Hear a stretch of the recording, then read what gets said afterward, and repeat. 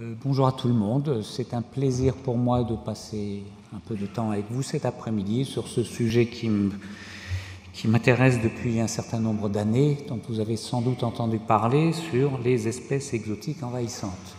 Et donc j'inaugure ce cycle constitué de cinq conférences que je vous invite à suivre toutes parce qu'elles sont complémentaires. Je ne pourrai pas traiter tout le sujet en, une heure ou une heure et demie. Donc je vais me contenter de vous faire une introduction par rapport à cette problématique, par rapport à ce que sont les espèces exotiques envahissantes, par rapport à leurs impacts sur la biodiversité, sur les écosystèmes, et introduire à ce qu'on peut, des actions que l'on peut mettre en œuvre au niveau d'une stratégie qui a été mise en place au niveau français depuis l'année dernière. Et euh, juste pour vous mentionner les exposés, les, titres des exposés suivants, vous en aurez sur le, frelon asiatique par une collègue, Claire Villemont, mercredi de cette semaine. Le lendemain, Jean-Louis Chapuis sur des écureuils exotiques introduits en France et qui posent un certain nombre de problèmes, les tamias par exemple. La semaine suivante, donc mardi 20, les platelmintes, ce sont des vers plats qui eux aussi sont introduits et qui envahissent euh, les jardins.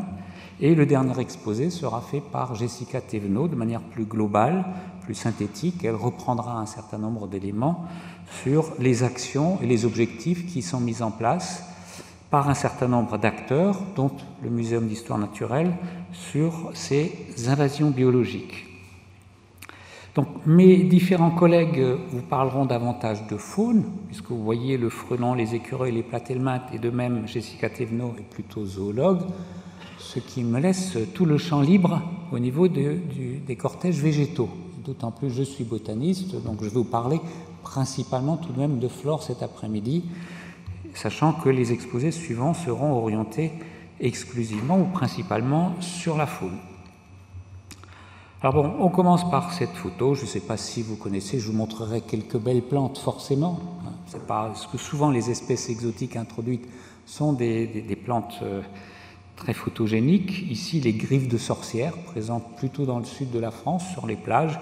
Et vous voyez ici tout un affleurement rocheux qui est recouvert totalement par cette espèce. Mais bon, ce n'est que mon fond d'écran par rapport à la couverture, par rapport au sujet que je vais vous traiter cet après-midi. Alors, commençons par une définition. Que sont des espèces exotiques envahissantes Je vous donne d'abord la définition qui fait consensus, qui a été donc euh, établie par l'Union internationale pour la conservation de la nature, déjà il y a un certain temps. C'est forcément une espèce qui est introduite volontairement ou accidentellement ou involontairement par l'homme hors de son aire de distribution naturelle. C'est-à-dire c'est une espèce qui vient d'ailleurs et qui, euh, donc une espèce étrangère au territoire dans lequel elle est introduite. C'est une première caractéristique. La deuxième, son installation, sa propagation menace les écosystèmes, les habitats et les espèces indigènes, donc les espèces autochtones au territoire. On en verra évidemment un certain nombre d'exemples. Et troisième condition, avec des conséquences écologiques ou sur la biodiversité, mais aussi des conséquences économiques et sur la santé sanitaire qui peuvent être négatives. Donc voilà la définition telle qu'elle est euh, habituellement reconnue d'espèces exotiques envahissantes. C'est forcément une exotique, c'est une espèce qui vient d'ailleurs et qui est envahissante, qui se substitue aux espèces indigènes qui sont présentes sur le territoire, avec des conséquences négatives sur le plan écologique, économique et sanitaire. Par rapport à cela, je vous donne tout de suite une autre définition qui est plus officielle et qui est plus récente, qui est extrait d'un règlement européen qui a été mis en place donc, sur le territoire de l'Union européenne il y a quelques années. 2014, ça n'est pas si vieux que cela, et ce règlement qui est relatif à la prévention, la gestion de l'introduction, de la propagation des espèces exotiques envahissantes.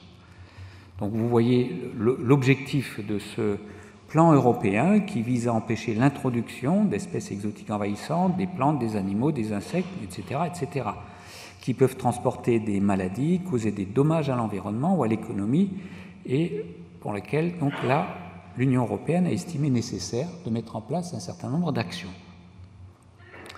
Je vous présente tout de suite donc ce règlement simplement par rapport aux définitions. Et le règlement, vous voyez son article 3, donne des définitions et je suis scientifique, donc je suis assez rigoureux par rapport à ça. Ça me paraît important qu'on utilise les termes appropriés pour désigner les objets.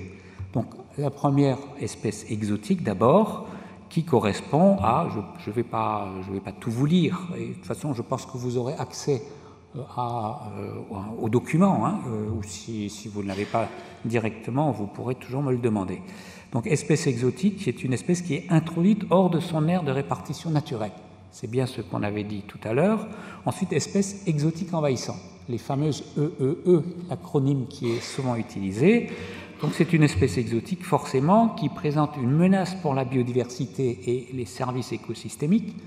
Alors que sont les services écosystémiques? Ce sont tous les bénéfices que les sociétés humaines, euh, euh, dont les sociétés humaines bénéficient euh, au niveau des écosystèmes. Donc menace pour la biodiversité et les services écosystèmes et également des impacts négatifs sur la santé et sur l'économie. Ça correspond bien à ce que je vous ai mentionné tout à l'heure au niveau de la définition de l'UICN. Et enfin, une troisième catégorie a été définie, c'est les espèces exotiques envahissantes préoccupantes pour l'Union, c'est-à-dire pour lesquelles, qui ont été listées, on en verra quelques-unes à la fin de mon exposé, pour lesquelles des actions spécifiques sont mises en œuvre au niveau de l'Union européenne. Donc une action concertée au niveau de l'Union. Alors, ça a déjà été évoqué tout à l'heure, envahissante ou invasive? Je vous montre quelques exemples de plaquettes ou de, brochures qui ont été faites. Ici, plantes envahissantes de la région méditerranéenne, une autre sur les plantes envahissantes de l'Isère, euh, plus ancien encore, la dynamique d'espèces alors invasives, application à la colerpe, dont je vous parlerai aussi euh, un petit peu, qui date de 1987, où c'est le terme invasif qui a été utilisé. De même, un article du Monde, c'était en pleine page, ça remonte à 2002, la biodiversité menacée par les espèces invasives. Encore, j'ai publié un ouvrage euh, il, y a, il y a une bonne dizaine d'années que j'avais aussi intitulé Plantes invasives en France. De même, une réunion, un colloque qui avait eu lieu en 2007, Espèces invasives, une menace pour la biodiversité. Donc quelle différence entre espèces exotiques envahissantes et espèces invasives? Il n'y en a pas. Si ce n'est que invasif, c'est un néologisme, c'est un anglicisme, et que certains puristes de la langue vous diront mais ce n'est pas du français. Pourtant, ces mêmes personnes utilisent des anglicismes à longueur de journée. Je ne vais pas vous en donner des exemples. Il y, en a, tellement dans notre langue que la langue peut aussi s'étendre et que le terme invasif permet justement bah, de donner un sens approprié, c'est-à-dire exotique envahissant.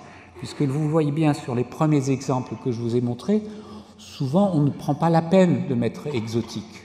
Et toutes les, le, premier exemple que vous avez ici, donc les plantes envahissantes de la région méditerranéenne, ou ici de l'Isère, ça correspondait bien à des plantes exotiques envahissantes où on utilise l'acronyme que j'aime bien aussi, EEE, e, espèce exotique envahissante, ou alors espèce invasive, mais euh, il n'y a pas de différence entre les deux.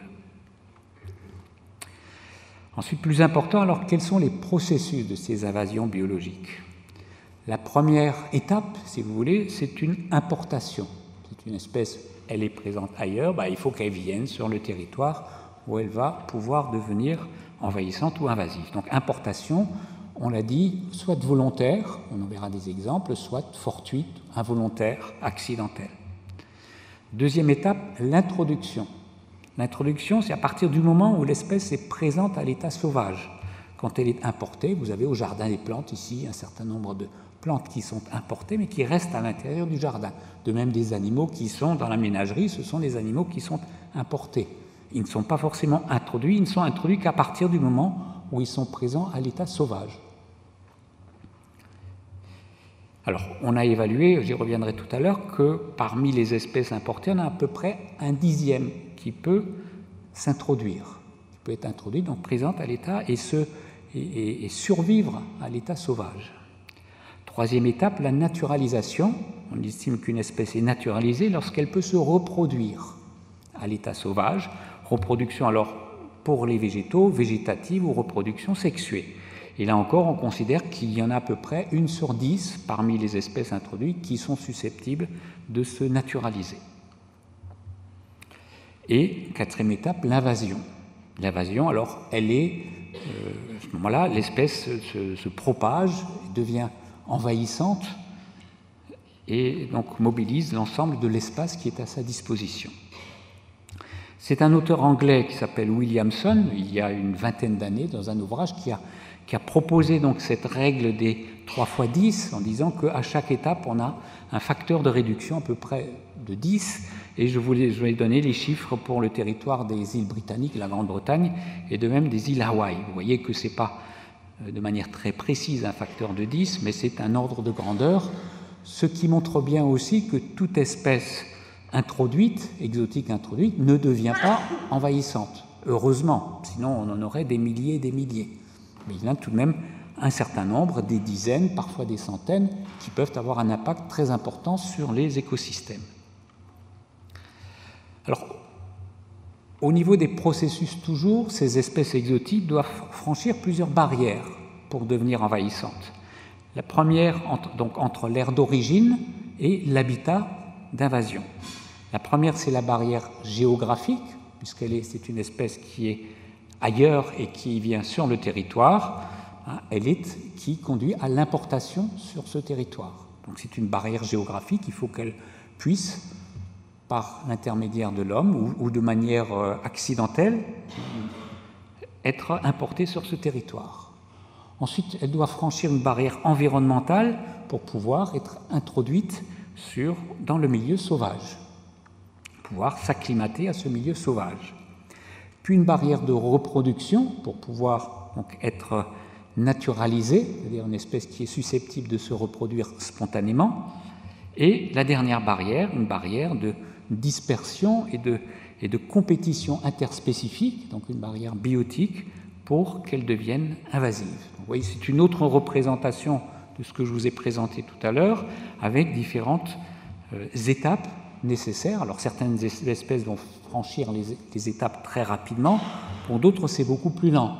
Et certaines d'entre elles n'arrivent pas à franchir les étapes et elles restent importées, heureusement, elles restent introduites, heureusement, et d'autres des espèces sont naturalisées sans forcément devenir invasives. Donc de nouveau les différents ordres de grandeur au niveau des, facteurs de réduction correspondant à ce qui été proposé par Williamson.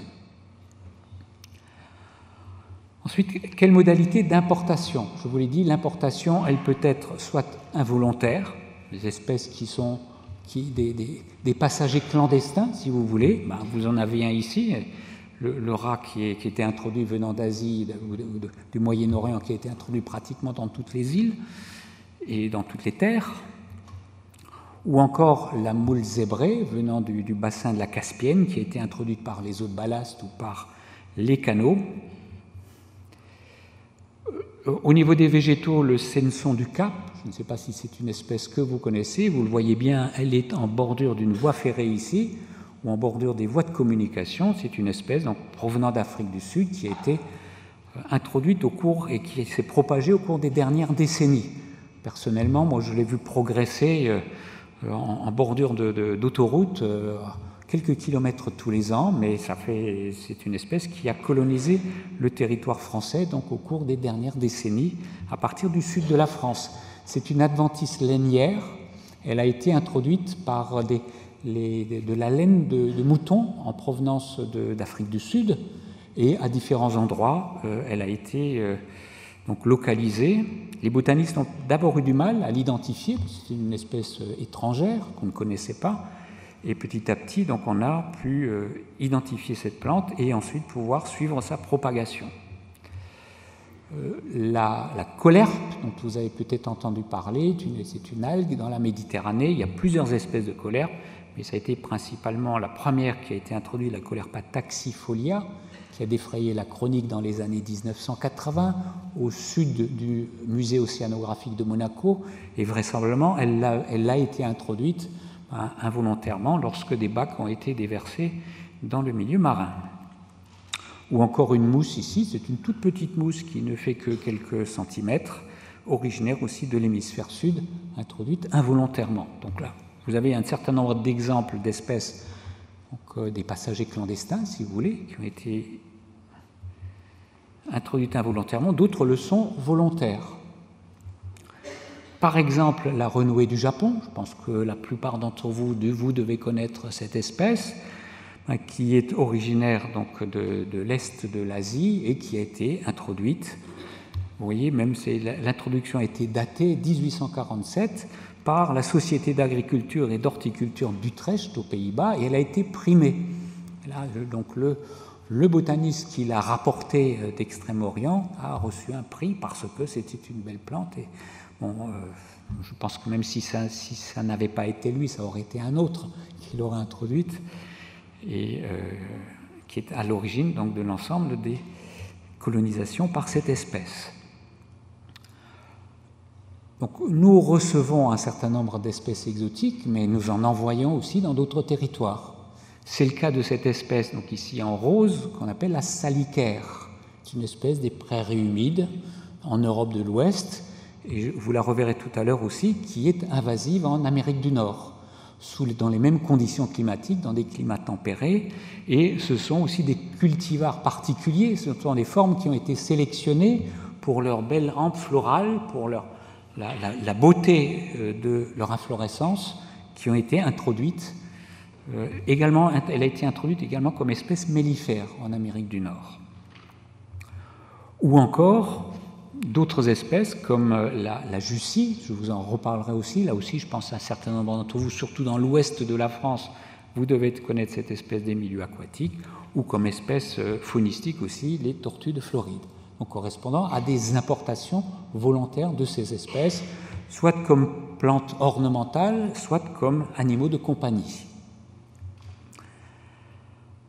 Alors, plus, extraordinaire ou plus, plus, plus curieux et, plus regrettable, si l'on veut aussi, vous avez ici euh, un, extrait de la Gazette Lorraine. Je suis d'origine lorraine, je ne vous l'ai pas encore dit, hein, mais.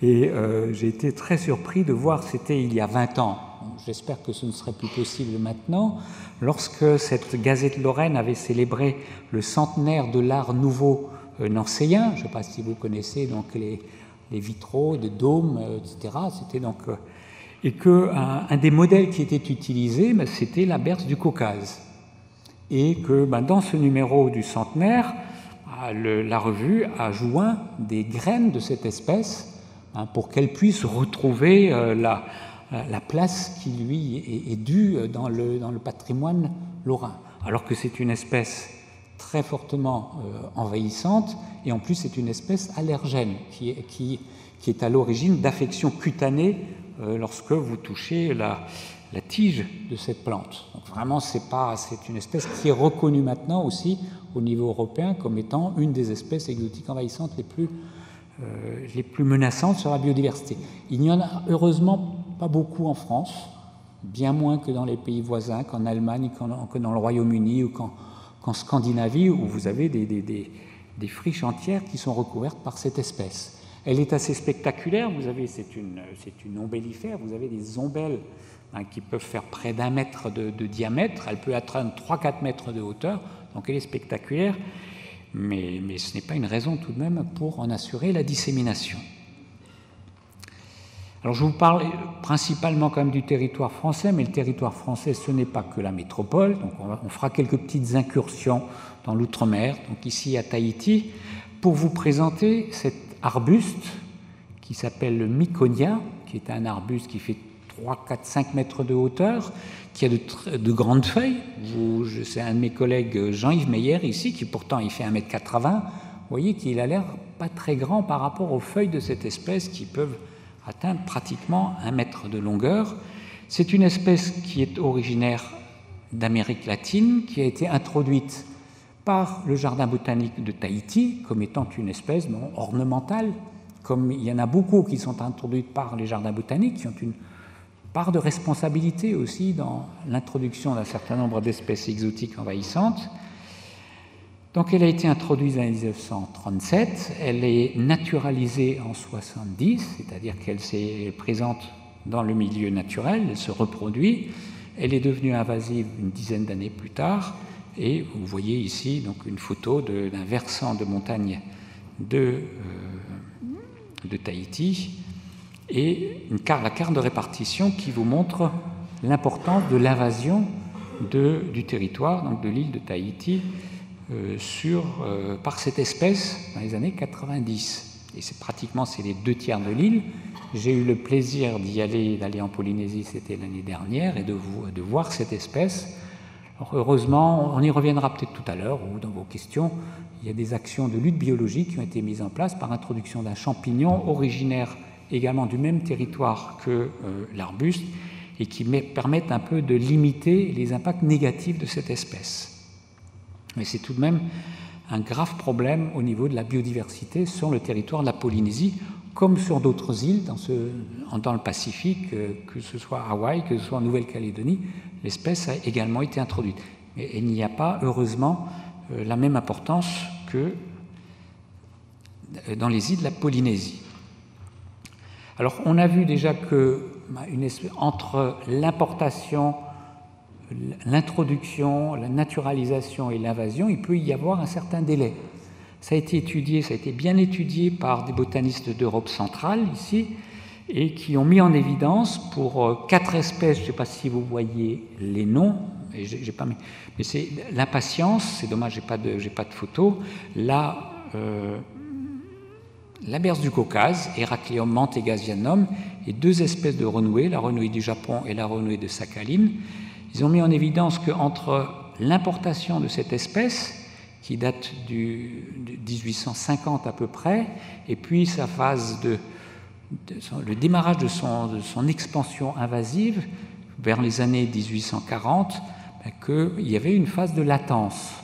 C'est-à-dire qu'une espèce peut très bien être importée, peut être ensuite introduite, mais il faut qu'elle s'adapte, qu'elle s'acclimate ça peut se traduire parfois par des modifications sur le plan génétique, à son nouveau territoire d'adoption avant de devenir invasive.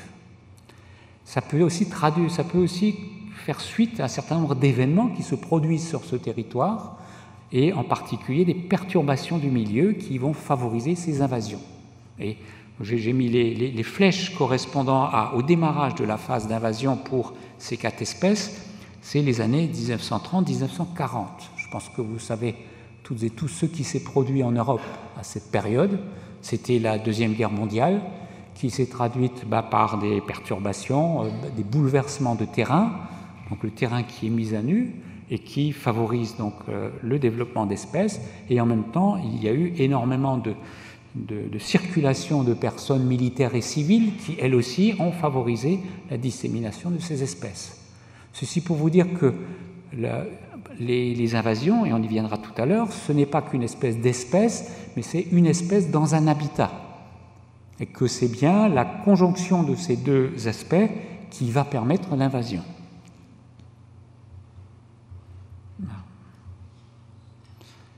Alors, combien d'espèces exotiques envahissantes en Europe Il y a une étude qui a été menée au début des années 2000, un programme qui s'appelait DAISY. DAISY, c'est le nom, euh, c'est, le nom anglais de la pâquerette, hein, et c'est une abréviation Delivering Alien Invasive Species Inventories in Europe, qui a mis en évidence, donc il y en a plus de 10 000 espèces qui sont introduites, et parmi celles-ci, plus de 1000 espèces qui sont envahissantes, à peu près 10 euh, à 15% des espèces donc introduites se sont révélées envahissantes en Europe. Ce qui est intéressant de voir, ben, c'est la carte que vous avez ici qui vous montre les zones qui sont rouges. Ce sont les zones où il y a le plus d'espèces végétales donc, euh, invasives. Et on voit bien que ce sont des milieux qui ont été fortement modifiés par l'homme, ce sont des, milieux cultivés, des milieux urbanisés, et que les, les, zones qui sont restées les plus naturelles, des zones de montagne, des zones dans le nord de l'Europe, ben, ont un une proportion d'espèces exotiques envahissantes qui est bien plus faible. Ce qui montre bien que c'est aussi, sont aussi les activités humaines sous toutes ces composantes qui sont à l'origine de ces invasions. quelques espèces, je vous en ai déjà montré, mais que j'ai pas. On a vu la, la berce du Caucase, on a vu aussi déjà le sénesson du Cap, l'herbe de la pampa, qui est surtout invasive dans le sud de la France. Ici, c'est une photo qui a été faite en Camargue. En région parisienne ou dans le nord de la France, l'espèce qui est souvent qui est commercialisée encore, euh, qui est présente dans les jardins mais ne se, ne se naturalise pas. Par contre, dans le sud de la France, ou sur la façade atlantique aussi, hein, vous avez, elle colonise des milieux naturels, et vous voyez que ça forme quand même des grosses touffes qui est très difficile, dont il est très difficile de se débarrasser par la suite. Là, ici, je vous l'ai déjà présenté, une petite plante flottante sur des canaux ou sur des mares qui est un azola. C'est une fougère, enfin une espèce voisine des fougères, des ptéridophytes, qui forment vraiment des, euh, des, plages flottantes sur un certain nombre de plans d'eau. La renouée du Japon, les solidages, je ne vous avais pas encore montré, que je pense que vous connaissez aussi, sont des espèces qui sont largement répandues. Il y a plusieurs espèces de solidages, le solidage ici du Canada, donc originaire d'Amérique du Nord. Une autre de ces espèces aussi, qui est, la, qui est une espèce aussi introduite pour des raisons ornementales, qui est la rudbeckie. C'est pas, alors, qui, est tout jaune, on, pourrait penser que l'espèce a été semée, mais elle est, présente de manière spontanée et c'est une plante qui fait 1,50 m de hauteur. Et je vous la présente pour montrer quels sont alors les, ce qu'on appelle les traits biologiques, les caractéristiques, les caractères de ces espèces qui euh, déterminent l'invasion. Ce sont des espèces qui ont en général une croissance qui est rapide et qui sont très compétitives par rapport aux autres espèces, du fait de cette croissance rapide et de la possibilité d'occuper l'espace. Elles ont également un mode de reproduction qui est important, que ce soit de manière sexuée ou de manière végétative. Par exemple, le sénesson du Cap que je vous ai déjà montré, vous avez euh, un seul plant qui peut produire jusqu'à 10 000 graines. Alors pensez, j'ai fait le calcul en bordure d'autoroute, lorsqu'on a, un pied tous les mètres, ça, fait, ça veut dire 1000 par kilomètre, c'est-à-dire que pour un kilomètre, vous avez 10 millions de graines qui sont disséminées. 100 km, vous multipliez par 100. Donc vous voyez que une espèce exotique envahissante peut parfois disséminer des milliards de graines qui vont ensuite pouvoir coloniser l'espace et ce qui explique alors le caractère d'invasion de ces espèces.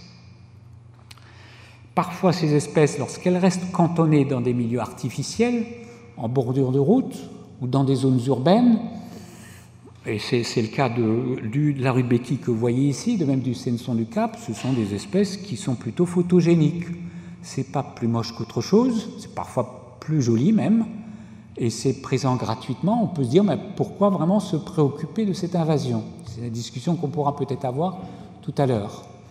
Mais c'est que ces espèces, elles ne vont pas rester sur cet espace, dans ces espaces artificiels, mais à partir de ces premières zones de colonisation, elles vont pouvoir ensuite s'étendre dans des milieux naturels où elles auront un impact bien plus important sur la biodiversité.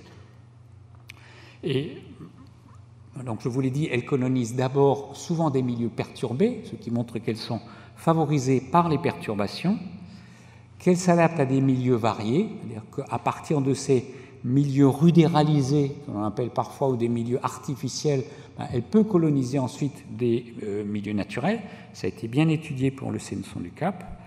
Et une autre caractéristique de ces espèces introduites, c'est souvent qu'elles sont introduites en l'absence de leurs consommateurs, en l'absence de leurs pathogènes, en l'absence de champignons, et que de ce fait, ce sont des espèces qui sont plus vigoureuses dans les territoires d'introduction qu'elles ne le sont dans leur territoire d'indigénat.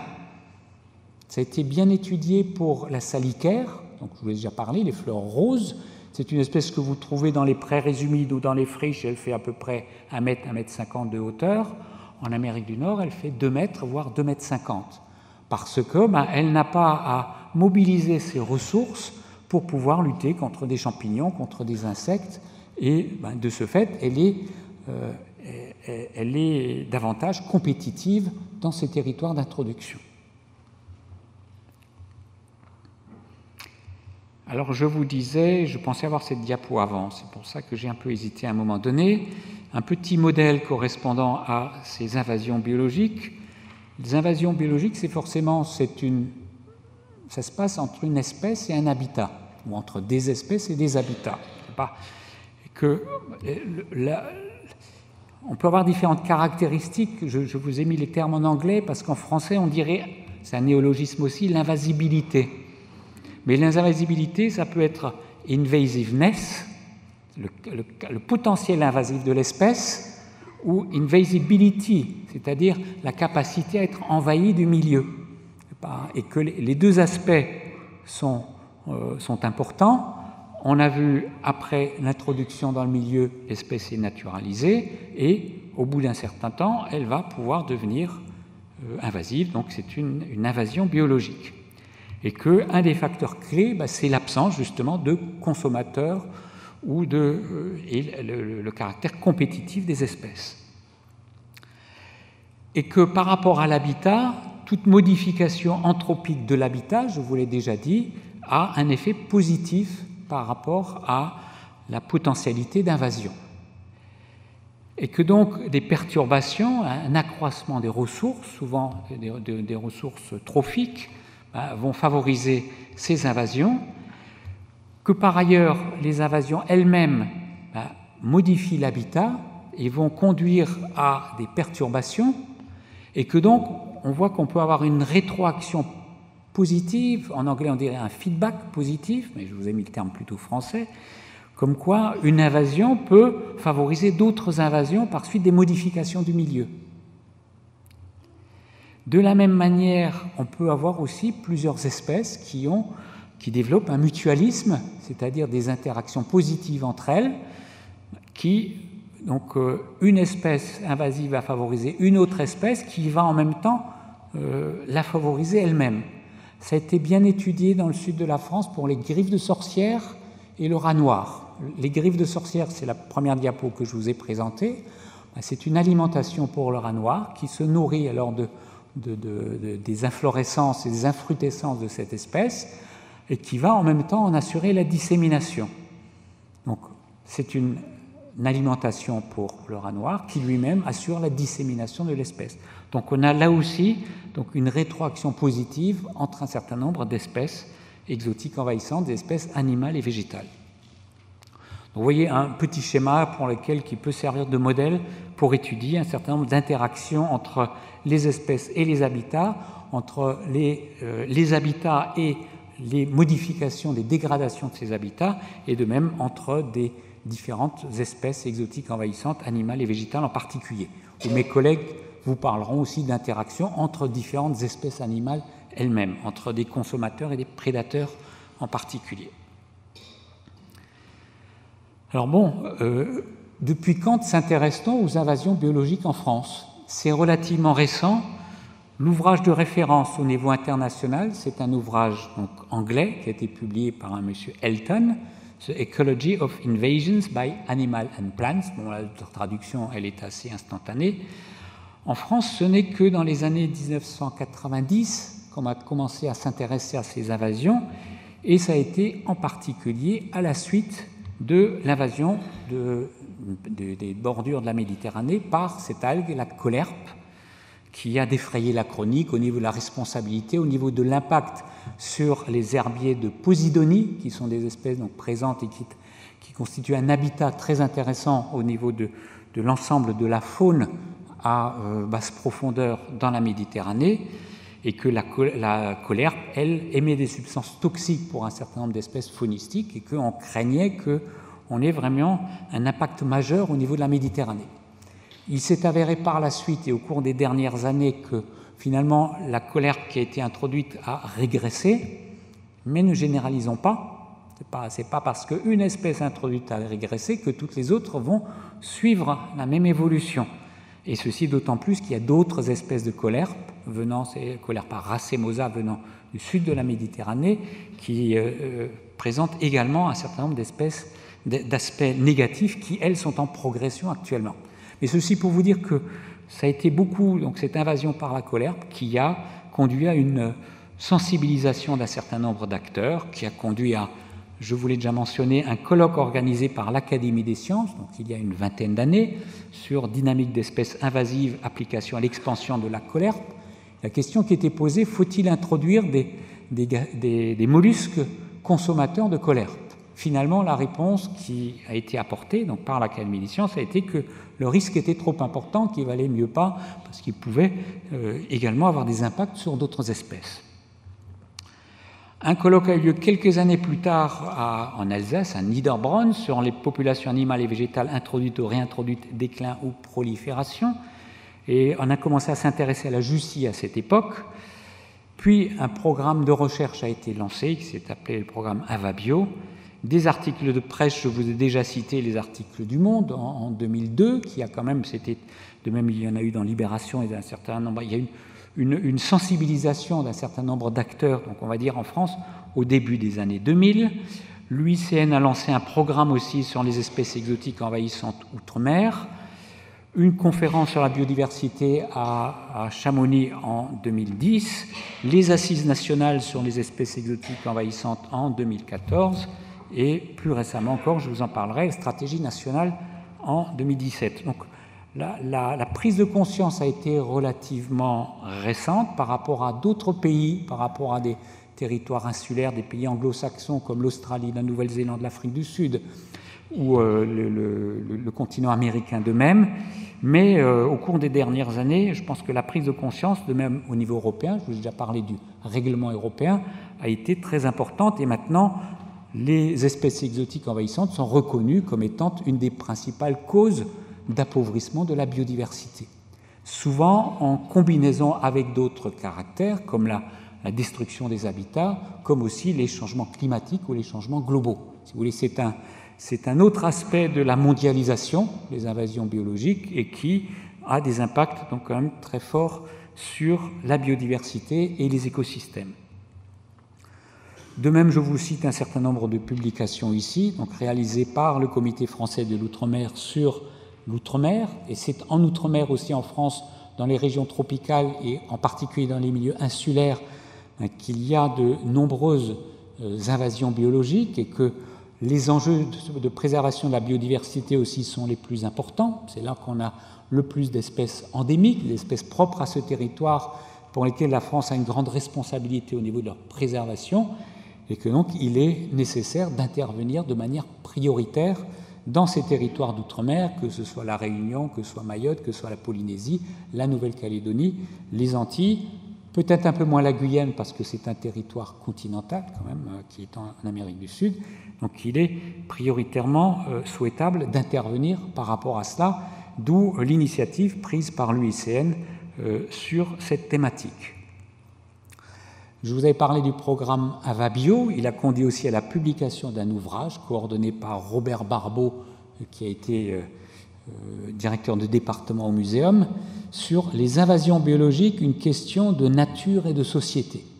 Et ceci pour vous illustrer aussi le fait que les aspects sociologiques sont très importants, quelle est la, la responsabilité des sociétés humaines dans l'introduction, quelle est la perception aussi des différents acteurs de la société par rapport à ces problèmes, bah, souvent euh, la, clé de, des solutions ou des actions que l'on peut mener, elle, se trouve dans la société.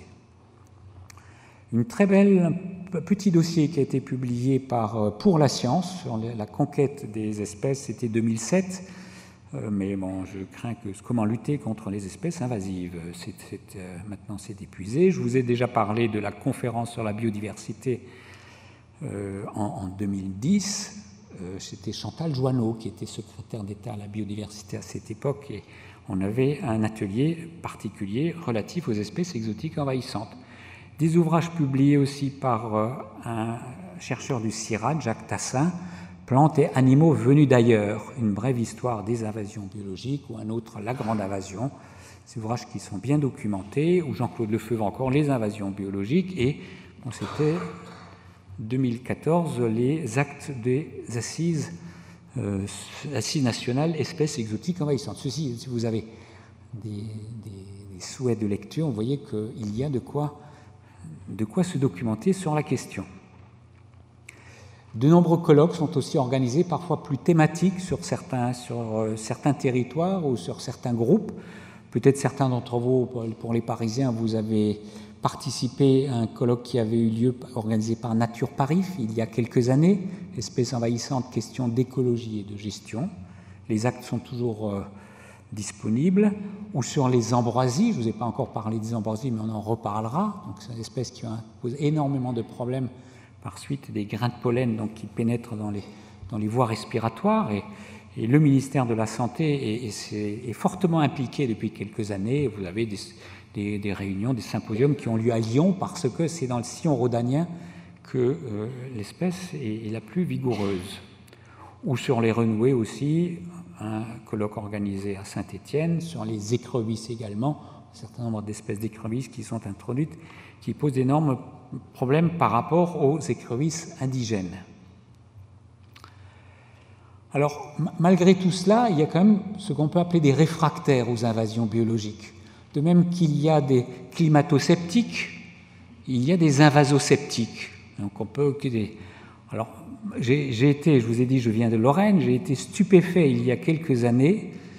Euh, j'étais à une exposition sur les plantes migrantes organisée par les FRAC, euh, Fonds régional d'art contemporain, de lire que indigène ou autochtone, invasive ou naturalisée, la classification subjective et idéologique des espèces, donc les scientifiques sont des idéologues, hein, des espèces végétales rappelle déjà celle des personnes. Il ne faut pas faire l'amalgame entre les espèces exotiques et les populations humaines qui sont de la même espèce. Hein. Dans les deux cas, elle fait obstacle à des rencontres inédites, à une mixité souvent nécessaire à notre adaptation au monde changeant. Ce sont des élucubrations irresponsables. Bah, et encore, je suis gentil lorsque je dis irresponsables. Ça veut dire, ce sont des incompétents qui euh, se permettent de donner un avis sur un sujet qu'ils ne maîtrisent absolument pas. Alors, moi j'ai éteint mon téléphone. Plus grave peut-être, et vous connaissez peut-être Gilles Clément, qui est un paysagiste reconnu sur la place, qui a écrit un ouvrage, Éloge des vagabondes, où je lis, c'est sur la dernière page, hein, donc la présentation de l'ouvrage, au nom de la diversité, au nom du passé, écologiste intégriste et conservateur extrémiste, hein, vous voyez, je suis extrémiste et intégriste, se rencontrent pour les déclarer ennemis, peste envahissante. Sont-elles si dangereuses et surtout à qui la faute? Bah Là aussi, je trouve que c'est une, je, je, lui ai déjà dit que c'est une attitude irresponsable. Une attitude irresponsable. Je, ne qualifie pas la personne, mais je qualifie l'attitude. Pas, quand on voit tous les, impacts, et en particulier le modèle qu'il prend, c'est aussi toujours la berce du Caucase, en disant que c'est très joli, certes, mais c'est tout de même une espèce qui, pose d'énormément de problèmes et pour, je n'ai pas eu, mais j'ai vu des personnes qui avaient des, euh, des, brûlures faites par la, la, berce du Caucase. Je vous assure que c'est quand même pas réjouissant.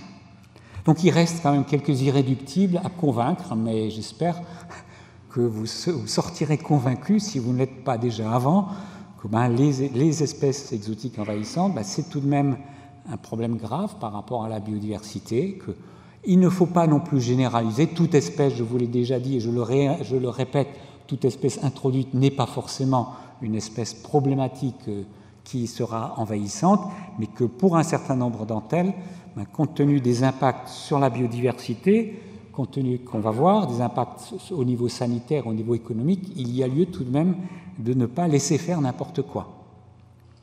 Alors venons-en justement à ces impacts donc les impacts écologiques sur la biodiversité et les écosystèmes. Ben, un des premiers impacts, ben, c'est un appauvrissement des écosystèmes par suite du développement de peuplements monospécifiques. Je vous représente ici, c'est la Rudbeckie, donc une très belle euh, astéracée composée qui est euh, provenant de jardin. C'est une espèce nord-américaine qui ici a introduit et qui a colonisé totalement des zones humides. C'est dans le massif vosgien, c'est dans les Vosges du Nord et où forcément la biodiversité est réduite par suite de la mobilisation de l'ensemble de l'espace et des ressources par cette espèce. Cela peut se traduire aussi par des impacts et des, disparitions locales de certaines espèces. Et je vous donne l'exemple, je reviens au Miconia en Polynésie française, ça a été étudié par euh, Jean-Yves Meyer et un collègue du muséum euh, Jacques Florence, qui est toujours présent ici, qui ont montré quand même la forte régression, voire des menaces de disparition d'un certain nombre d'espèces endémiques en Polynésie française euh, par suite, et ici vous avez c'est une orchidée, par suite de l'invasion, de la mobilisation totale de l'espace par Myconia. On peut également avoir une altération du fonctionnement des écosystèmes. Je vous présente ici une espèce que je pense que tout le monde connaît, le robinier faux acacia, introduit par Robin au, début du, XVIIe siècle, 700 ou même, même, un peu avant, qui est une espèce donc, qui, présente un certain nombre de qualités, qui présente un certain nombre d'intérêts sur le plan forestier. C'est un bois qui est très dur, qui est donc utilisé de ce fait. C'est une espèce aussi qui est une espèce mellifère, donc qui est appréciée par les apiculteurs, mais c'est tout de même une espèce envahissante. Et j'ai déjà eu des échanges avec des forestiers qui disaient non, il ne faut pas le considérer comme une espèce invasive parce qu'elle peut avoir un intérêt. Mais un certain nombre d'espèces, et je vous l'ai dit, toutes les, enfin, un grand nombre de, plantes introduites sont ces espèces qui ont été introduites pour leur beauté, pour leur qualité esthétique, pas pour autant qu'elles ne sont pas envahissantes. Vous, l'avez, la, la, rue béquille euh, sur, euh, sur la diapo. De même, le robinier, lui, c'est une espèce qui présente d'autres inconvénients dans certains milieux. C'est une espèce de la famille des papillonacées, euh, des, fabacées, et qui a une symbiose au niveau racinaire avec des bactéries et qui conduisent à une fixation d'azote. Donc elle conduit à un enrichissement du sol, ce qu'on appelle une eutrophisation, et de ce fait à la disparition de l'ensemble des cortèges floristiques des milieux oligotrophes, des milieux pauvres. En particulier, je connais une réserve naturelle dans la vallée de la Saône, on a sur des milieux sableux qui est envahi par cette espèce. Le, robinier aime bien les, les, substrats sableux aussi. Il y en a beaucoup en Europe centrale aussi sur des milieux sableux, mais c'est une espèce qui bouleverse totalement le milieu, qui va modifier fortement l'écosystème. C'est ce qu'en anglais, c'est un auteur aussi euh, sud-africain, Williamson, qui a proposé le terme de transformers in English. Hein. Alors on pourrait dire les transformateurs. Ce sont des, espèces qui transforment l'écosystème. Et le robinier est une de ces espèces.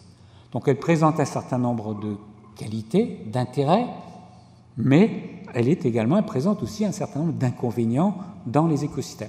Alors la solution par rapport à cette espèce, on ne peut pas essayer de l'éradiquer, de toute façon, elle est présente, elle est très largement répandue, mais on peut éviter qu'elle soit introduite dans certains espaces.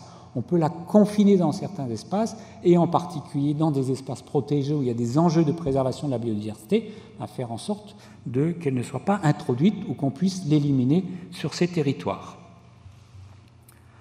Ensuite, des impacts économiques. il y a également des impacts économiques aux invasions biologiques, mais liés à la modification des milieux, à la modification des valeurs paysagères. Alors j'ai mentionné, c'est difficile à évaluer parce que la perception du paysage, elle peut être très différente entre les différentes populations, que ce soit des populations euh, qui, qui habitent dans le territoire et des populations qui au contraire sont des visiteurs sur ce territoire.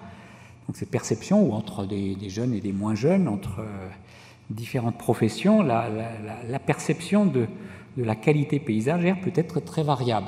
Mais on peut avoir des altérations au niveau de la production, par exemple des régénérations forestières qui ne sont pas possibles par suite de l'invasion, le rhododendron par exemple dans les îles britanniques, ou le, le un, prunus serotina, le cerisier tardif en, forêt de Compiègne par exemple, qui va empêcher la régénération par les espèces euh, qui sont natives sur ce territoire, les chênes par exemple. Ensuite, vous avez tout le problème du coût de la lutte et de la restauration des milieux euh, qui conduit à des impacts financiers très importants.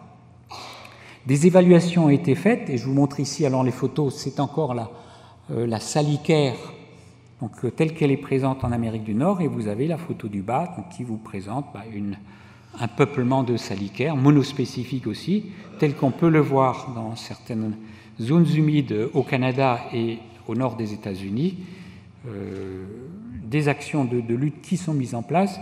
Et l'évaluation qui a été faite, c'est une publication donc américaine datant de l'année 2000 dans une revue de référence, hein, Bioscience, qui a évalué le, coût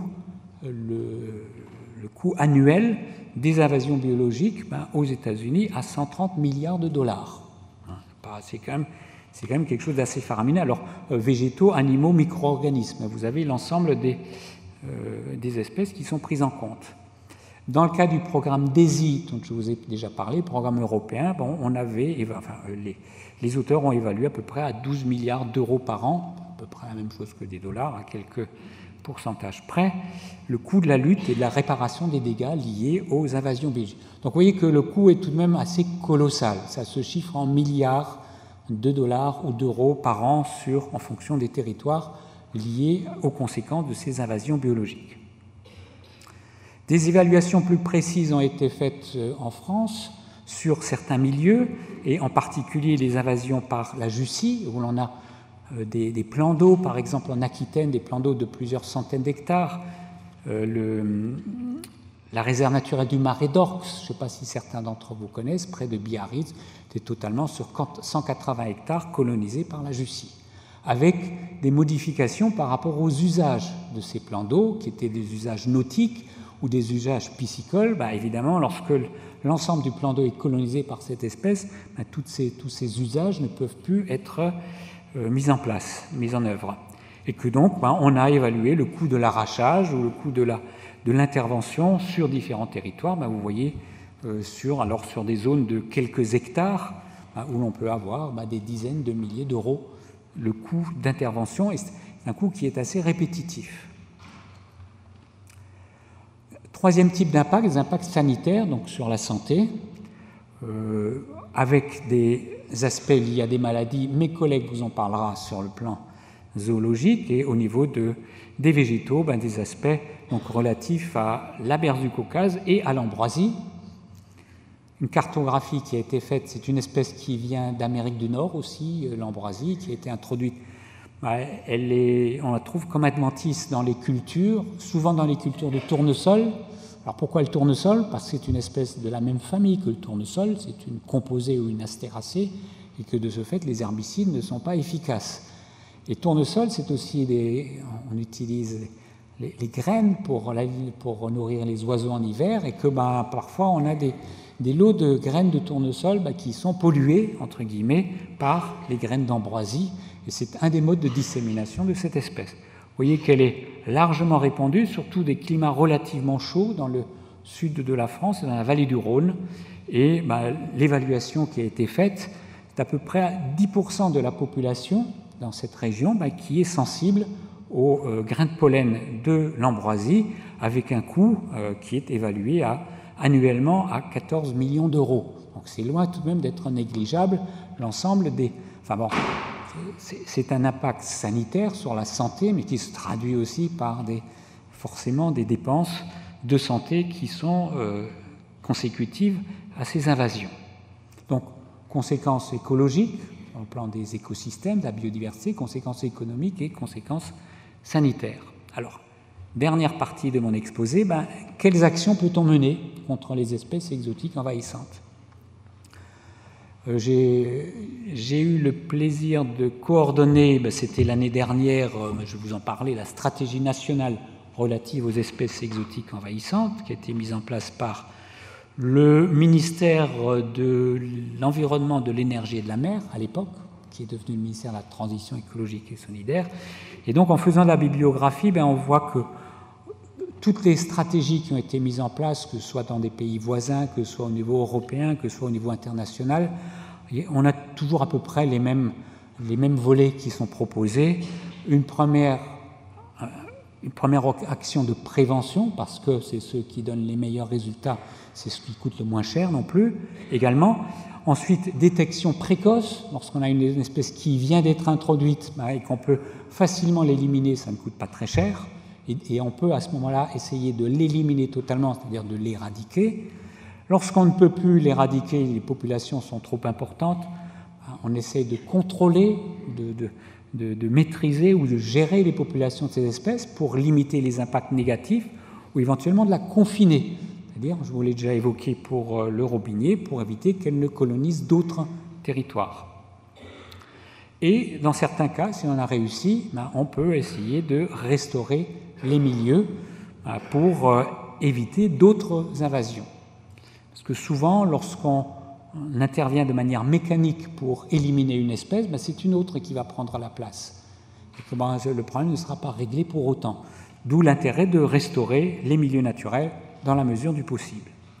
Tout ceci en complément d'actions forcément de communication pour faire partager au plus grand nombre l'intérêt des actions qui sont menées, coordination des actions entre les différents acteurs, forcément des connaissances qui sont nécessaires pour cela, et, évidemment ce qui est nécessaire, le nerf de la guerre, ben, ce sont des moyens financiers pour pouvoir intervenir.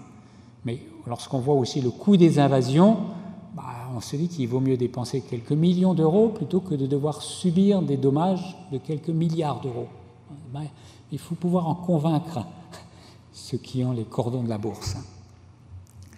Alors, donc, euh, la stratégie qui a été mise en place euh, en 2016-2017 au niveau du territoire français, avec, je, je, vais vous présenter rapidement les différents axes et quelques illustrations d'actions qui sont mises en œuvre.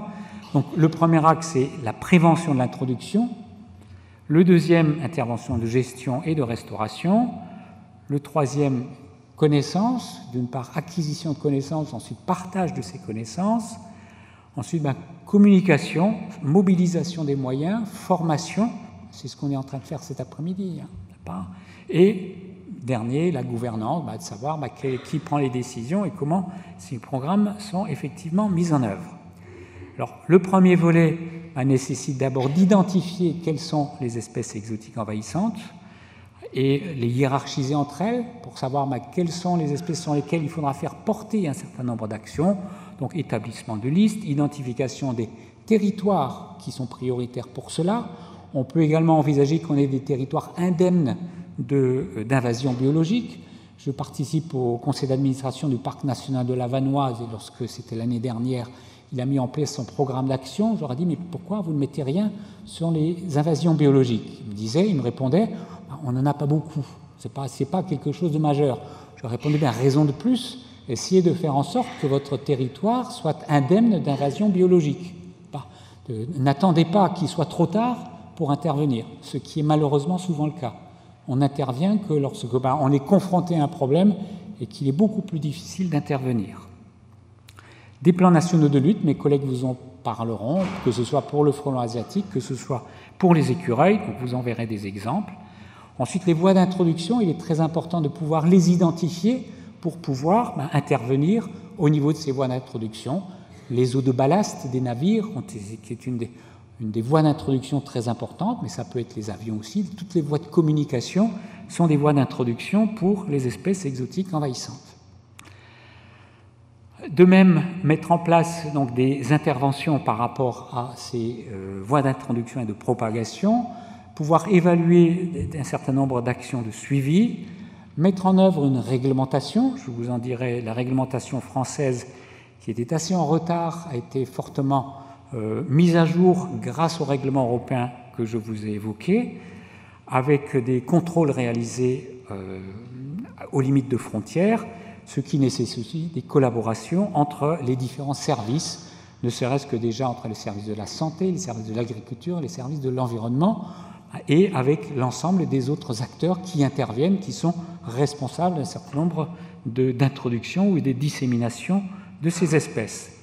Alors, à titre d'illustration, mais je vais passer très vite, vous avez les noms latins ici des 37 espèces, les premières espèces qui ont été euh, d'espèces d'enjeux européens, donc en application du règlement européen, plutôt que les noms latins, mais je vous représente quand même un certain nombre de ces espèces, mais là aussi rapidement, la jacinthe d'eau, des myriophiles, vous y retrouvez les deux espèces de, de, le Baccharis, il y en a parmi vous qui viennent de l'ouest, c'est une espèce qu'on trouve beaucoup dans les milieux salés, hein, euh, dans les zones estuariennes, un certain nombre d'espèces aquatiques comme le lagaro siphon, le cabomba, les myriophiles aussi, d'autres espèces terrestres comme un certain nombre de berces, mais la, la berce du Caucase que je vous ai déjà évoquée ne figurait pas sur cette première liste, mais elle a été rajoutée, elle figure sur des compléments à cette première liste, et d'autres espèces, de même un certain nombre d'espèces animales, mais de nouveau, je laisse ça à mes collègues. Vous voyez un certain nombre d'écrevisses ou le frelon asiatique, dont on vous parlera dans quelques jours, également des poissons qui ont été introduits,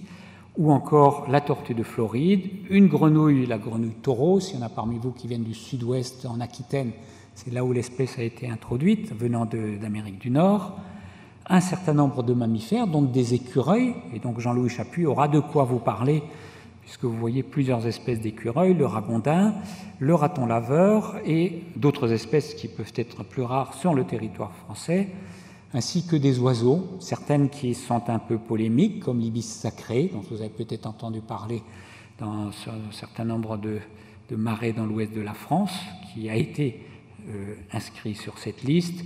L'Erismatio rousse pose moins de problèmes, et le corbeau, lui, n'est pas présent sur notre territoire. Donc, pardon la, la perruche n'y est pas. il y a une évaluation qui avait été faite il y a quelques années, la perruche à collier, hein, qui n'a pas, vous en avez beaucoup au Jardin des Plantes. Alors il faut voir si vraiment, tant qu'elle reste en milieu urbain, qu'elle n'a pas d'impact négatif sur les autres espèces. De nouveau, ce n'est pas une espèce donc, qui est exotique envahissante. Mais encore, c'est une espèce au moins à surveiller hein, pour, euh, pour, voir ben, quelle pourrait être, quelle est son expansion. Elle est quand même fortement en voie d'expansion de, euh, dans les territoires. Euh, ben, s'il sera nécessaire à un moment donné d'intervenir ou non. Ensuite, deuxième axe, donc intervention.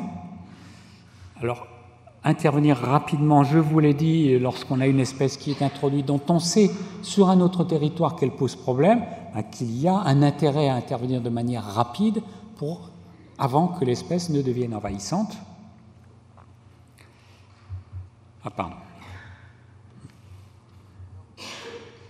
Ah. Escape. Comment je fais là? Ah, Merci. Bon. Une fois qu'une espèce est largement présente, ben,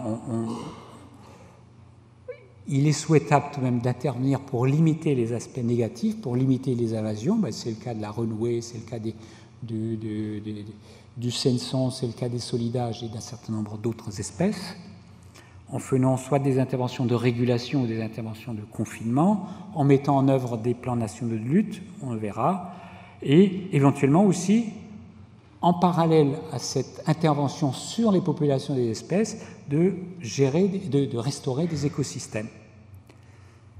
Alors, exemple, par rapport à des opérations, alors le terme qui est utilisé, c'est parfois le terme contrôle, le terme gestion ou le terme maîtrise. Donc j'ai mis maîtrise ici, mais vous voyez l'idée. Donc maîtrise des populations d'espèces invasives. Par exemple, intervention mécanique, et vous avez peut-être fait déjà aussi, vous savez, si vous êtes confronté à cette espèce de couper, ben, ben, il faut, recouper tous les ans parce que ça se redéveloppe une année après l'autre, la renouée du Japon, ou au contraire des interventions, vous voyez, telles qu'elles sont faites contre les espèces aquatiques comme euh, la jussie, comme les lagarossiphons. Parfois plus intéressant peut-être euh, euh, l'intervention de lutte biologique qui est menée dans certains territoires, comme en Amérique du Nord contre la salicaire dont je vous ai déjà parlé. Donc des interventions de lutte biologique qui sont menées ben, en introduisant donc des ennemis naturels, que ce soit des champignons, que ce soit des, des insectes, qui vont affaiblir la plante. Elles ne vont pas l'éliminer, mais elle sera moins compétitive. Elle sera davantage intégrée dans les écosystèmes. De même, je vous l'ai dit, le Myconia à Tahiti, donc c'est un champignon qui a été introduit et qui donc, fait, des, fait des trous dans les feuilles de cette espèce et elle est moins dynamique dans ce territoire. On est très frileux en Europe pour, utiliser cette lutte biologique parce que ça n'est pas sans risque, il est nécessaire quand même de prendre toutes les précautions ben, pour que les espèces introduites ne s'attaquent pas à des espèces indigènes et n'est pas des, euh, effets secondaires pires que le mal au départ. Donc ça nécessite vraiment des, interventions très, très bien argumentées, bien étudiées sur le plan scientifique. Ça se fait en Amérique du Nord, ça se fait beaucoup en Australie, en Nouvelle-Zélande, dans les pays anglo-saxons, où parfois c'est la, meilleure manière pour pouvoir euh, limiter un certain nombre d'invasions biologiques. Et les Anglais ont commencé à l'étudier sur la renouée du Japon en introduisant un petit hémiptère originaire du Japon aussi et qui serait spécifique de la renouée. Ou encore, certainement la meilleure des manières, bah, c'est ce qu'on appelle la lutte écologique, la, lutte, la maîtrise écologique, ici contre la renouée du Japon, de reconstituer des milieux naturels qui sont les forêts, les ripisylves, les forêts de bordure de milieux aquatiques. Si l'on plante, alors il faut intervenir euh, après avoir planté des arbres, euh, bah, jusqu'à ce que l'arbre ait dépassé la hauteur de la renouée. Hein, ensuite, bah, il, il n'est plus euh, en compétition avec la renouée par rapport à la lumière, et c'est lui, au contraire, qui va limiter la lumière disponible pour la renouée. Alors là encore, ça ne va pas permettre d'éliminer cette espèce, mais cela va permettre tout de même de euh, reconstituer des milieux naturels avec une naturalité plus forte. Alors exemple, petite euh, incursion sur le territoire de la Réunion où il y a des enjeux très forts de conservation de la biodiversité, des espèces endémiques euh, qui sont très rares, mais aussi des dégradations très fortes liées aux invasions biologiques.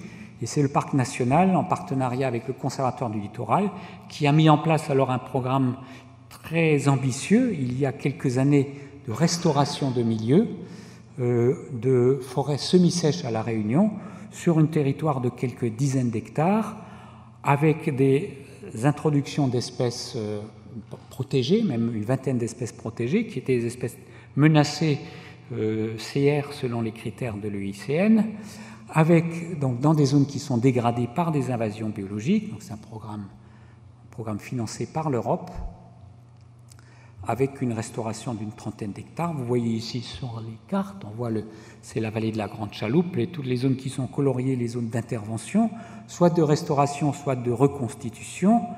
Ici, donc, une zone de restauration euh, avec l'objectif qui a été de récolter 300 000 graines, donc ce n'est pas, un petit projet tout de même, hein, euh, euh, dans les forêts naturelles sur ce territoire, puis de les mettre à germer dans des pépinières et ensuite de les réintroduire dans ces milieux naturels. Vous avez la liste de toutes les espèces, je vous en fais grâce, mais c'est une cinquantaine d'espèces pour dire que c'est quand même c'est une, euh, une, restauration de biodiversité. On ne va pas simplement planter une ou deux espèces, comme on pourrait le faire lorsqu'on fait des plantations forestières, mais ici c'est l'ensemble des cortèges floristiques qui sont, avec des espèces parmi les plus rares, qui sont réintroduites dans ces milieux. Bon, un, exemple, ça a été fait, c'était en 2012, avec euh, les opérations qui ont été mises en place donc euh, sur, euh, sur, ce, sur cette zone, c'est sur la platière, c'est sur les zones plates de reconstitution. on, reconstitue totalement le couvert végétal avec introduction ici de 45 espèces sur des placettes avec euh, différentes modalités. Bon, je vous passe le détail, mais avec différentes densités des différentes espèces. Mais sur chacune des placettes de 20 mètres carrés, 10 à 15 espèces différentes qui sont introduites. Vous voyez ici ben, un exemple de cette opération telle qu'elle a été menée avec différentes espèces. Parmi les espèces les plus rares, vous avez ici celle qui est euh, en haut à gauche, c'est le Ruisia cordata, une espèce endémique, c'est un genre endémique de la Réunion dont il ne restait que quelques pieds, mais qui a pu être sauvegardé tout de même et qui va, euh, grâce à cette opération, donc reconstituer des populations importantes sur ce territoire. C'est un exemple de restauration et de, bonne restauration. Euh, dans lequel j'ai été impliqué, euh, qui a été réalisé il y a quelques années sur ce territoire. Troisième axe, donc euh, l'amélioration et la mutualisation des connaissances. Vous imaginez bien que tout cela nécessite quand même d'avoir de, bonnes connaissances pour ne pas faire de bêtises. C'est que parfois ben, on introduit des espèces où on veut intervenir, si on n'intervient pas à bon escient, ben, les conséquences peuvent être plus dommageables encore que ce que l'on voulait réparer. Avec donc la mise en place de programmes de recherche, il y en a déjà eu, il y en a d'autres qui sont soutenus par le ministère de la Recherche, d'essayer des méthodes innovantes parfois pour trouver des solutions adaptées à chaque situation, euh, pour euh, mettre en place un réseau de sites pilotes où on va pouvoir expérimenter euh, différents modes d'intervention par rapport à ces espèces et utiliser également les déchets végétaux déchets de justice, si on les laisse sur place, va, ça, va, ça va repousser. Il faut pouvoir quand même les traiter et autant que possible les valoriser.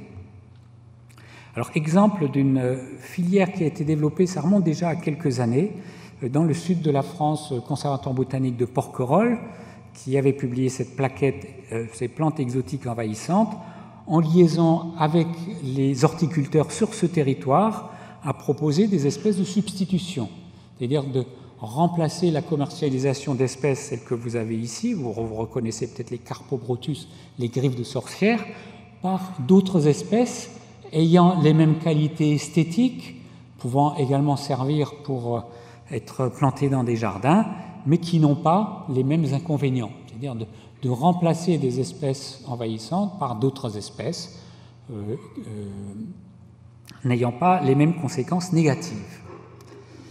Enfin, quatrième axe de communication, bah, de sensibilisation de l'ensemble des publics, en mettant en place un centre national de ressources, et vous avez un site, internet qui a été mis en place euh, euh, récemment, sur les milieux aquatiques IBMA, donc mis en place par l'UICN et l'ONEMA, c'est-à-dire maintenant l'Agence française de la biodiversité, les réseaux nationaux d'acteurs qui, euh, qui sont impliqués dans l'ensemble de ces actions, que ce soit des associations, que ce soit des collectivités, et souvent les, régions, les, départements, les villes sont très intéressés par euh, ces sujets, avec les différents services de l'État, les espaces protégés. Le grand public doit également être sensibilisé pour ne pas justement être des acteurs euh, négatifs par rapport à ces invasions biologiques, d'où la mise en place de codes de bonne conduite. Par exemple, ça a été fait pour les les jardins botaniques pour qu'ils évitent justement d'introduire des espèces exotiques envahissantes qui ont été reconnues comme étant envahissantes dans d'autres territoires. Pour l'ensemble des gestionnaires d'espace, de mettre en place aussi des formations au niveau des scolaires pour pouvoir les sensibiliser à ces différents aspects. Dernier volet, gouvernance et animation. Donc il faut animer la stratégie. On a un groupe de travail, un groupe de pilotage qui a été mis en place, qui euh, regroupe l'ensemble euh, des, compétences et des structures qui sont impliquées dans cela pour pouvoir donc intervenir de manière appropriée, développer aussi des collaborations interrégionales également au niveau international, euh, en mettant en œuvre des, bilans des actions qui sont menées pour pouvoir tirer tout le profit des expérimentations menées. Voilà, et en conclusion, donc la maîtrise de ces invasions nécessite la mobilisation de l'ensemble des acteurs de la société dont nous faisons partie, vous et moi. Voilà.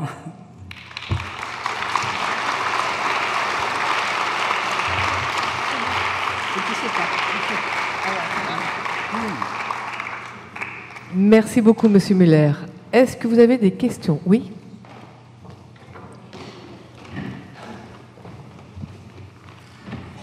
Merci pour cet admirable exposé. Et j'aimerais savoir si, à contrario, y a-t-il des espèces communes chez nous qui sont devenues envahissantes chez les autres? Oui, oui je, vous en ai cité. Je vous ai cité la salicaire en Amérique du Nord, ou je peux vous citer aussi l'ajon d'Europe. Je ne sais pas si vous connaissez, s'il y a des Bretons parmi vous. C'est une espèce épineuse de la famille des papillonacées aussi, l'ajon. C'est une espèce qui est envahissante dans l'hémisphère sud, dans l'île de la Réunion, de même euh, en, Nouvelle-Zélande, c'est une espèce. Donc nous en introduisons tout autant euh, dans d'autres territoires que, nous n'en recevons de ces territoires. Pas. Merci. Oui.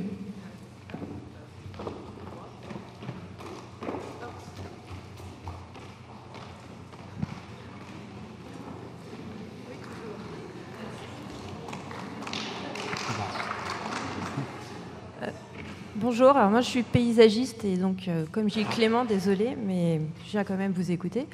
Euh, j'ai deux questions en fait. Je voudrais savoir si euh, on peut pas trouver la, si la solution serait pas de trouver des filières pour exploiter les plantes invasives. Par exemple, j'ai entendu que la renouée du Japon, que moi j'ai rencontré dans beaucoup de projets, était comestible quand elle était toute petite, ou qu'il y avait certains animaux qui justement dans leur pays d'origine les consommaient. Et ma deuxième question, c'est euh, comment ça se fait que l'État interdit pas la commercialisation de ces plantes invasives? Parce que la renouée du Japon, on la trouve toujours commercialisée dans certaines pépinières. Je ne sais pas si vraiment on commercialise la renouée. Moi, j'en ai jamais vu. Hein. C'est pas dans Jardiland ou ailleurs. Euh, c'est pas. Euh, déjà, ce n'est pas la peine de l'acheter, vous en trouvez partout, vous pouvez faire des, boutures. Non, je ne pense pas qu'il soit. Il y a d'autres espèces qui sont encore commercialisées. Dans le cas du règlement européen, bon, pour un certain nombre d'espèces, pour toutes les espèces du règlement européen, la commercialisation est interdite. Donc les Jussis ne sont plus commercialisées, elles l'étaient. Hein, il y, en a, il y en a qui peuvent encore l'être. Ah, il faut qu'elles soient reconnues, euh, comme étant euh, envahissantes. Alors les choses avancent, peut-être pas suffisamment vite, et je suis le premier à le regretter par rapport à la commercialisation. Ensuite, d'avoir une utilisation de ces espèces, c'est évidemment là, ça peut être la solution pour un certain nombre d'entre elles, d'en trouver une valorisation. Mais bon, euh, je ne suis pas sûr que ça permette de, résoudre le problème pour autant. Par exemple, pour la renouer. Hein. Mais si on peut valoriser, le, risque étant que cette valorisation nous conduise ensuite à favoriser cette espèce. Par exemple, le goyavier à l'île de la Réunion, c'est une espèce exotique envahissante, mais qui est, qui est utilisée, c'est pas ben, les, fruits des goyaviers, mais à la suite de ça également, bah, il y a des agriculteurs qui, font, qui plantent des goyaviers pour avoir des productions. Donc vous voyez un peu le risque lorsqu'on a une valorisation économique qu'on n'aille pas trop loin tout de même. Merci. Notre question. Oui, une question un peu générale. Est-ce que les espèces autochtones ou indigènes ou on peut utiliser les deux mots. ont des stratégies de défense face aux espèces envahissantes bah, Certaines oui, celles qui sont, celles qui sont compétitives euh, elles peuvent l'avoir. Je, je, parle au niveau des végétaux. Vous reposerez ma question, la question au niveau de mes collègues zoologistes. Hein. On a des, au niveau de la faune, c'est peut-être plus facile, puisqu'on a des espèces qui sont des prédateurs, qui peuvent se nourrir également.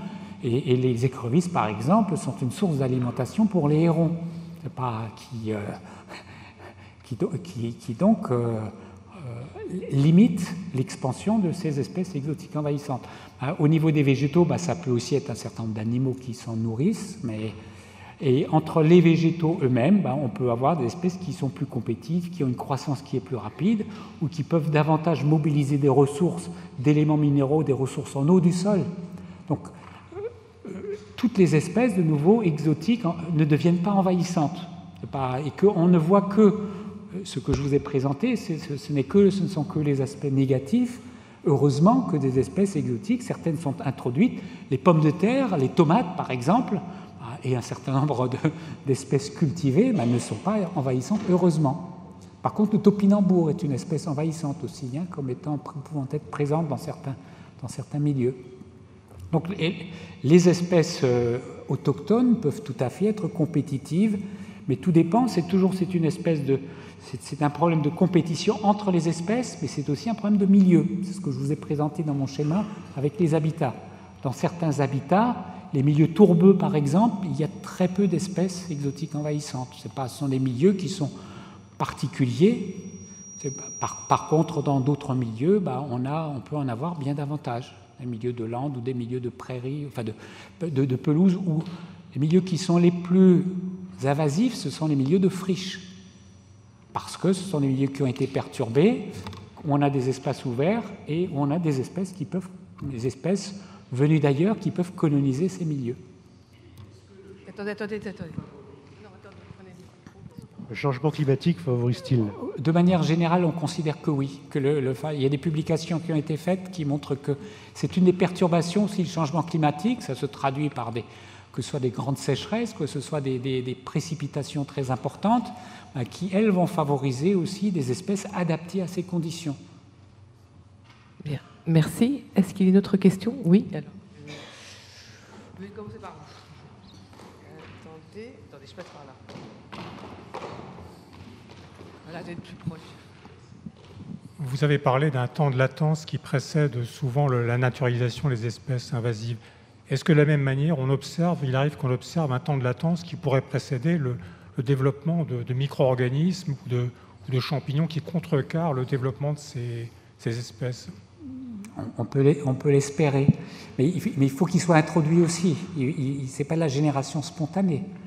Et souvent, ce qu'on fait, les exemples que je vous ai donnés, bah, ce, sont des introductions qui sont faites volontairement pour pouvoir euh, donc, euh, intervenir. Ça a été bien développé. Je peux vous donner, si ça vous intéresse, les, travaux qui ont été faits sur Tahiti, par exemple, sur le Myconia. donc c'est bien un champignon qui a été introduit d'Amérique du Sud également, qui a été introduit volontairement et qui ensuite bah, s'est développé, s'est répandu aussi euh, sur les peuplements de Myconia. On ne peut pas espérer de, de mutation naturelle d'organismes existants qui s'adapteraient en quelque sorte à cette nouvelle pâture. Je, reprends votre expression, on ne peut pas espérer, je ne pense pas. Il ne faut pas compter là-dessus pour, venir à bout des espèces exotiques envahissantes. Merci. Ah, pardon, je pensais que la question. Et monsieur. Ah, bah, euh, oui, euh, j'imagine qu'il doit être très difficile euh, d'éliminer ou d'éradiquer une, espèce exotique envahissante. Est-ce qu'on a des cas de réussite euh, totale d'éradication? Oui, on a des cas. Non, non, mais on, peut le faire à partir du moment où on intervient de manière très précoce. Ah, ça n'est pas très compliqué.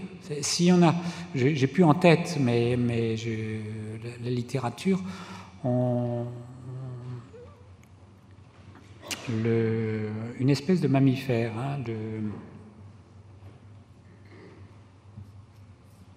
Je, ne retrouve plus le nom, mais peu importe. Mais au niveau des végétaux aussi, hein, les conservateurs botaniques qui ont identifié une espèce donc, dont on a le, les, premiers individus qui ont été repérés. À ce moment-là, on peut intervenir, il faut intervenir de manière euh, forte. Il hein. faut les éliminer, il faut les.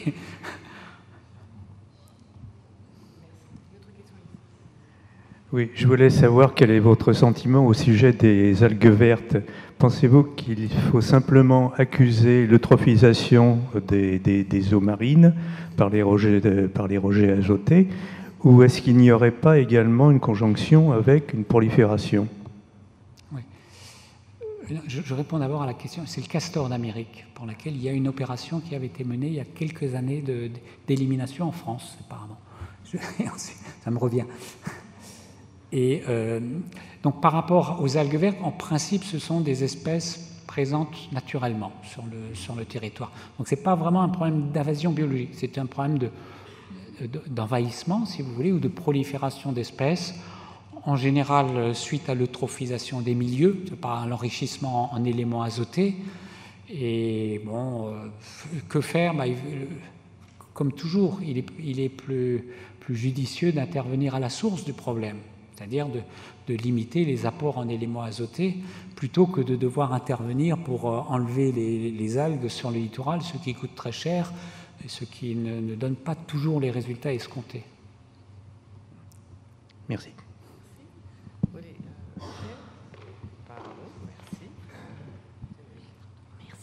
Euh, monsieur, comment, en quoi consiste la méthode de confinement par par exemple ici, vous avez parlé du milieu urbain. Je voudrais savoir, parce qu'il y a quand même les oiseaux, les pollens, le vent, et comment peut-on confiner quelque chose comme ça Et, est-ce que l'élément urbain, la chaleur, je vois des tourterelles perchées sur la chaleur des, cheminées quand il neigeait, parce qu'il y a les cheminées, elles sont toujours sur le toit. Je me disais pourquoi elles étaient sur le toit à cause de la, de la chaleur des cheminées. J'ai réalisé, puis on me l'a dit. Et je trouve que ces, avantages du milieu urbain sont des avantages et des inconvénients en plus. Oui, oui. Non, mais euh, je suis d'accord avec vous, on ne peut pas toujours intervenir. Mais pour, un certain nombre d'espèces, on peut essayer de, limiter leur expansion, c'est-à-dire de, déterminer un front à partir duquel ben, on intervient pour, dès qu'on a les premiers colonisateurs, ben, pour les éliminer. je, suis plus botaniste, donc je parle plus par rapport aux par rapport aux références au niveau des végétaux. Mais de même, si on a une espèce animale qui est introduite, que ce soit une écrevisse ou autre chose, ben, qu'on puisse euh, intervenir de manière très forte contre les premiers colonisateurs. Donc à ce moment-là, on, confine l'espèce dans, des espaces où elle est déjà largement présente, où, où on ne peut plus intervenir de manière efficace. Mais vous reposerez la question à mes collègues peut-être sur, le, sur, les, les, mammifères ou sur les oiseaux. Par exemple, quand même, vous pourrez poser la question à Jean-Louis Chapuis par rapport à un écureuil qui est présent à région d'Antibes. il y a une autoroute et l'autoroute du Sud qui passe. Et dans le cadre du plan, d'action, bah, on a considéré que dans un premier temps, on, essaierait de faire en sorte que l'espèce ne puisse pas traverser l'autoroute. C'est-à-dire d'intervenir de, manière plus forte contre les premiers colonisateurs à, l'amont, enfin au nord de l'autoroute, pour confiner l'espèce dans les zones euh, où il y a quand même quelques centaines, voire milliers d'individus qui sont présents. Vous voyez, c'est le principe de ce confinement. Mais ça ne marche pas partout. Hein. Et cette leçon m'a permis de, de, de, réaliser qu'il n'y avait absolument pas de système génétique de l'envahisseur, de l'envahissement. Je, ah parle, je parle des, des espèces végétales. Je ne pense pas, euh, bien entendu, aux hommes. Non, non, ce n'est pas un caractère génétique. C'est une... pas du tout un caractère. Et est-ce qu'on peut quand même, pour des sols complètement appauvris ou qui, dégringolent, qui, qui tombent, enfin, est-ce qu'on peut, leur, leur, système racinaire multiple peut fixer certaines formes de sol, éviter les éboulements peut-être? Oui, oui. Euh, oui. Non, non, mais on peut tout à fait intervenir. Soit on a certaines certaines espèces, c'est le cas du Myconia en Polynésie, qui lui favorise l'érosion, mais que pour, euh, par rapport à d'autres situations, ben, on peut intervenir en, semant ou en plantant des espèces pour fixer le sol et éviter qu'il y ait des invasions par d'autres espèces exotiques. Merci beaucoup. Est-ce qu'il y a une autre question pour M. Muller? Oui, j'arrive.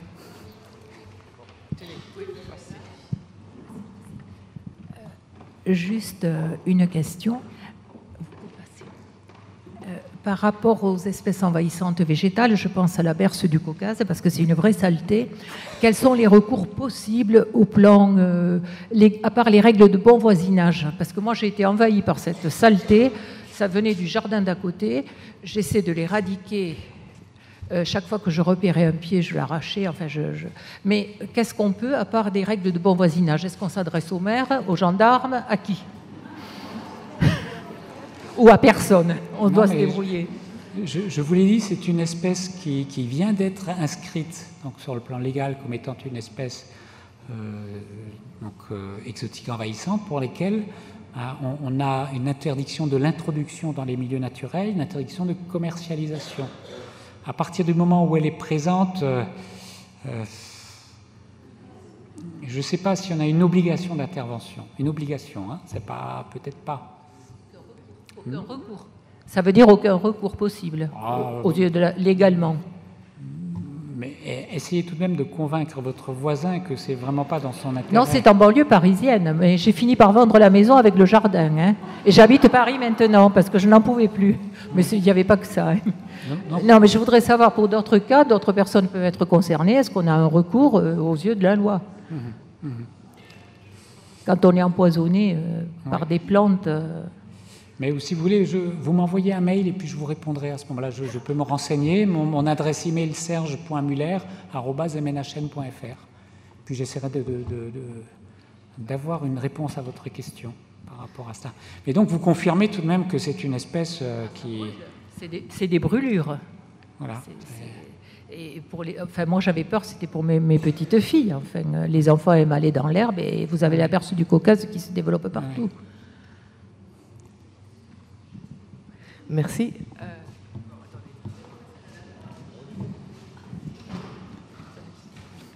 Je me demandais, monsieur Dan, quand il y a un énorme incendie de forêt, on explique que les graines éclatent souvent, enfin que la chaleur fait éclater les graines et que ça ensemence et que c'est azoté avec euh, ensuite, c'est un milieu donc perturbé comme une friche mais riche. Est-ce qu'il est beaucoup plus euh, sujet à l'envahissement euh, Oui. Et où est-ce qu'on peut alors est-ce qu'on peut prévoir où on attend que ça en se disant il va repousser des pins ou Qu'est-ce qu'on peut faire? Non, mais effectivement, les incendies favorisent les invasions, parce que comme vous le dites fort justement, c'est une perturbation, le sol a été mis à nu, et s'il y a des graines qui sont présentes ou qui peuvent être introduites, ça a été le cas des incendies à l'île de la Réunion il y a quelques années, avec l'agent d'Europe, les incendies du Maïdo par exemple. Ben, c'est le cas dans d'autres territoires aussi. Hein. C'est pas souvent, bah, les espèces exotiques envahissantes, à mesure où elles, disséminent énormément de graines, ce sont des colonisateurs qui sont, qui sont rapides et qui peuvent donc envahir un territoire à la suite des incendies. Alors quelle solution? Bah, d'une part, essayer de faire en sorte qu'il n'y ait pas d'incendie si c'est possible, ou d'autre part, de faire des plantations après les incendies, pour ne pas laisser la place à ces espèces exotiques envahissantes. De faire des restaurations, à l'exemple de ce que je vous ai montré. Vous nous avez parlé aussi du système euh, insulaire beaucoup, euh, avec ces, espaces envahissants. Euh, et nous vous avez dit, il n'est pas question pour la Guyane, parce que peut-être le gouvernement guyanais et puis le, et puis le, bon sens. Mais est-ce que le fait d'être, euh, on disait que les oiseaux, par exemple, étaient beaucoup plus petits dans les, euh, sur les îles parce qu'ils peuvent moins. Alors, est-ce que c'est le contraire? Une plante sur une île pense entre guillemets. Euh, va se développer beaucoup plus ou beaucoup moins par, par, par compensation? Je, crois qu'on ne peut pas généraliser. Vous avez dans les îles les oiseaux, les albatros qui sont très grands, donc hein, pas... il y en a qui sont grands, il y en a qui sont petits, au niveau des végétaux d'eux-mêmes. Mais, mais c'est vrai que les îles sont très sensibles aux invasions. Hein. Euh, et c'est pourquoi la Guyane, qui n'est pas une île, comme tout le monde le sait, c'est une partie du continent sud-américain, ben, on constate qu'il y a nettement moins d'espèces euh, exotiques envahissantes. Il y a moins d'enjeux d'endémisme non plus, parce que, de nouveau, c'est une partie d'un continent et qu'il ben, y a d'autres problèmes. Le gros problème de, la Guyane, c'est l'orpaillage clandestin par rapport au territoire de la, forêt tropicale. Euh, mais, le, problème, majeur n'est pas les invasions, alors qu'on peut, considérer qu'à La Réunion, ben, c'est vous avez ici Saint-Pierre-et-Miquelon, territoire que je connais assez bien, le cerf de Virginie. Ben, en, Nouvelle-Calédonie, vous avez un autre cerf hein, qui, a, qui, qui, envahit très fortement les milieux et qui est une cause de dégradation très forte de la biodiversité. Merci. Est-ce qu'il y a une autre question pour M. Muller? Oui.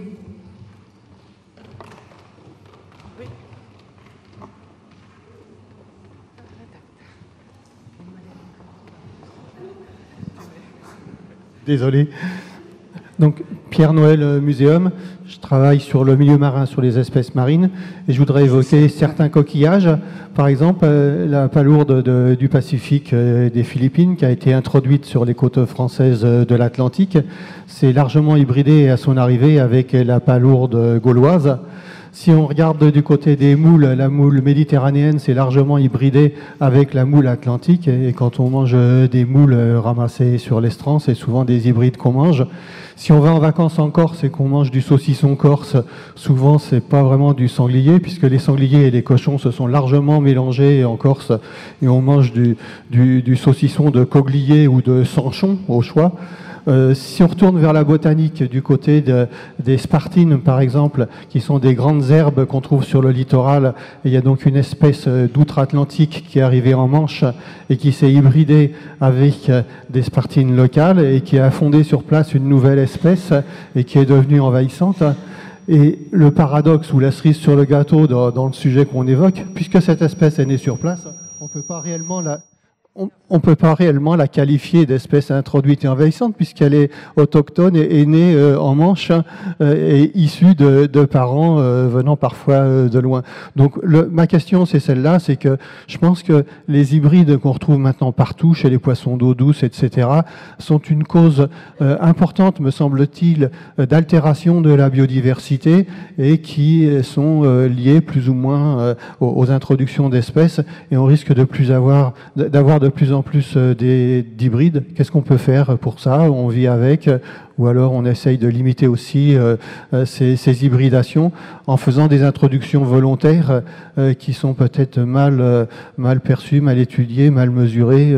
ce qu'on faisait peut-être il y a 20 ou 30 ans, maintenant on le ferait, on le ferait peut-être plus. C'est peut-être un peu de sagesse qu'il faudrait avoir par rapport à, ces, ces, déplacements d'espèces exotiques potentiellement envahissante.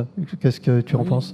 Non, mais je, suis tout à fait d'accord avec cela. Je pense que de toute façon, il ne faut pas non plus diaboliser les espèces exotiques. Hein. Pas, toute espèce, je l'ai répété plusieurs fois, toute espèce exotique n'est pas forcément envahissante, c'est-à-dire n'a pas forcément un impact négatif sur la biodiversité, sur la santé et sur l'économie.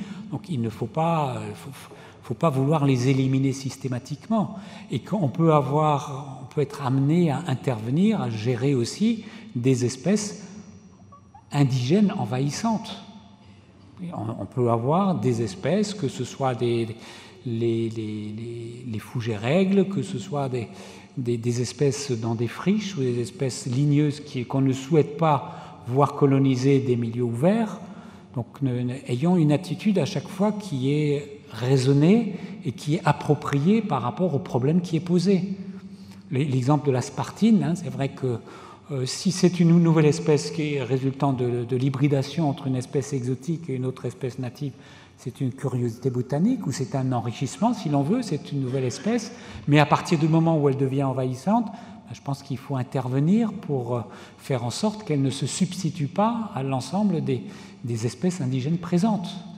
Donc il ne faut pas, faut pas avoir une attitude dogmatique, il faut avoir une attitude qui est euh, adaptée à chaque situation, hein, pour essayer de faire en sorte que euh, la biodiversité ben, reste importante et intéressante euh, dans les territoires. Merci beaucoup. Est-ce qu'il y a une, autre question? Oui. Ah, c'est pour la dame. Ah, bah Et après, je ne vois pas. Merci, merci. Euh, je ne sais pas si ça marche, oui. Euh, quand une commune euh, décide d'éradiquer un arbuste ou un arbre qui devient envahissant. J'ai un exemple très précis. Le, bacaris, par exemple. Les bacaris, bien sûr, par exemple. Euh, les élantes. Voilà, vous n'avez pas, parlé, de l'élante, mais... qui est une espèce extrêmement envahissante. Et je connais des forêts euh, dans, en, Vendée, bon, donc dans l'ouest, dont vous avez parlé tout à l'heure, où progressivement les élantes supplantent les pins. Oui. Et alors, euh, si on arrache, parce que les campagnes d'éradication existent, si on arrache ces espèces envahissantes, euh, à la limite, elles reviennent. Enfin, je ne sais pas, on n'arrive pas à s'en débarrasser. Donc, si j'ai bien compris ce que vous avez dit, c'est qu'il faudrait en même temps une campagne de restauration d'autres choses. Vous avez bien compris. Et, donc, oui, mais alors, ce qu'il ce qu'il faut faire, c'est informer les, services compétents, et, parce qu'ils ne le sont pas. En général, ils se pensent que le, fait d'arracher, ça va suffire. Non, non, mais on, a bien vu que ce soit la renouée, que ce soit à l'île de la Réunion aussi, ben on a des l'élimination de peuplement d'espèces exotiques envahissantes va favoriser d'autres espèces. Donc il faut, il faut euh, obligatoirement ben, compléter cela par une, une action de restauration. Et les, J'ai même plutôt restauration que replantation. Ça pas, tout dépend ce qu'on veut ce qu'on veut mettre à la place, quoi, hein, mais restauration. Oui. Mhm. Merci, monsieur. Mais il faut, donc sensibiliser les, pouvoirs publics, les décideurs par rapport à cela. Bonjour, monsieur. Les sumacs. Les sumacs et les arbres à papillons, ce sont des espèces envahissantes. Oui, oui, tout à fait. Elles ont été introduites depuis quel pays? Le sumac, euh, je, connais un sumac de Virginie, euh, ah venant de Virginie. L'arbre à papillons, Budleja, euh, je ne sais pas. Peut-être de Chine, oui, je ah pense, oui, c'est vrai. Parce que c'est très envahissant. Oui. Ah bah, c'est vrai. le sumac, c'est très très envahissant. C'est le père David qui a, décrit, qui a décrit de nombreuses espèces, qui l'a décrite aussi, et qui, c'est pas forcément lui qui l'a introduit, il l'a, il l'a décrite. Et alors ça se développe effectivement dans des endroits pauvres, le long des voies ferrées, on voit des Oui, mais de, nouveau, tant que ça reste en bordure des voies ferrées, c'est pas trop gênant, mais c'est qu'à partir de ces milieux euh, artificiels, elles peuvent ensuite coloniser, si elles produisent des graines, des milieux naturels. Et, oui. et, là, elles peuvent poser davantage de problèmes. C'est vendu, hein, c'est commercialisé, les arbres à papillons. Oui. Et les sumacs, c'est extrêmement envahissant dans les jardins. Peut-être moins que l'arbre à papillons quand même. Ah bon? Oui pour le moment. Hein. Vous, avez, bien compris qu'une espèce, elle, n'est pas forcément envahissante de suite, elle peut le devenir et que le changement climatique, toutes les modifications des, activités humaines peuvent conduire à favoriser de nouvelles espèces euh, exotiques envahissantes.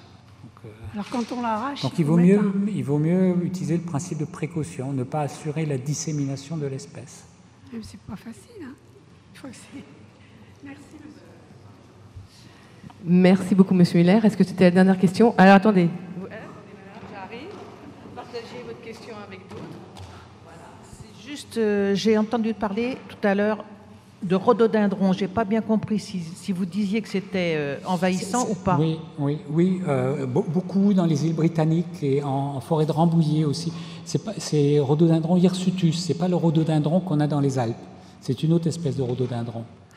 Et tous ceux qu'on a dans les jardins. Ah bah, oui, bah, il, y en a, il, y a, de- il y a des centaines d'espèces de rhododendrons, donc on peut voir lequel, mais, mais il y a des espèces de rhododendrons qui sont envahissantes dans des, dans des forêts sur des sols siliceux. Bah, en général, c'est sur, des- c'est sur ce type de sol, hein, c'est des sols acides sur lesquels ils se développent.